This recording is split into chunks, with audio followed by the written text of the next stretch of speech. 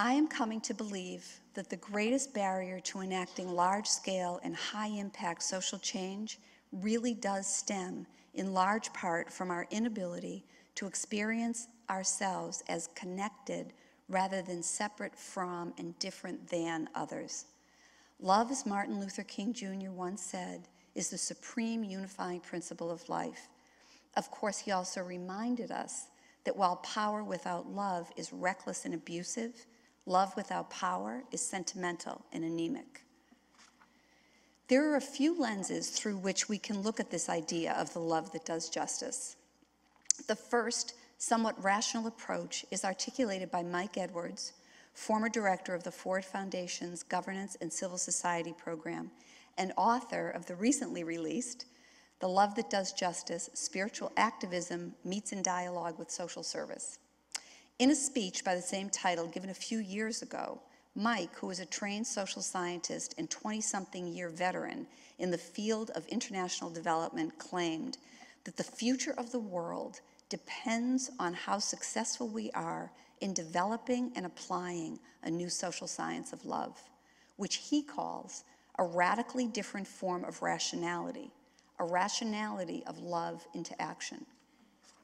From Mike's perspective, it is the absence of this critical element this love ethic and orientation in the work for peace and social justice that often results in the failure to build the alliances and collective wisdom that could lead to significant and sustainable social change.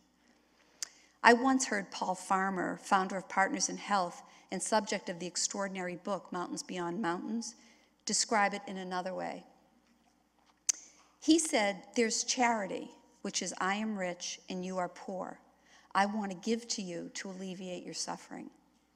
There's equity, which is I have had opportunities and access enabling me to succeed.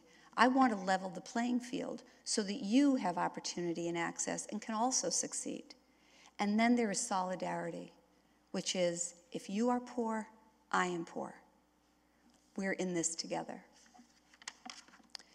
Someone pointed out to me recently that two thirds of the world really does live from the heart.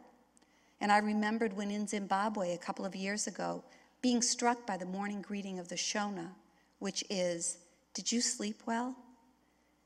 And the answer is always, I slept well if you slept well. It was on that same trip that I was also introduced to the Zulu concept of Ubuntu I am because of you. Buddhism teaches us that if you open your heart to the rest of the world, you will feel tremendous sadness. And it is this experience of the sad and tender heart that gives birth to fearlessness and bravery. And so it is that we as social change agents must attend to our interior condition, to keep our hearts open, to be brave and fearless, so that we can be in solidarity, so that we can connect.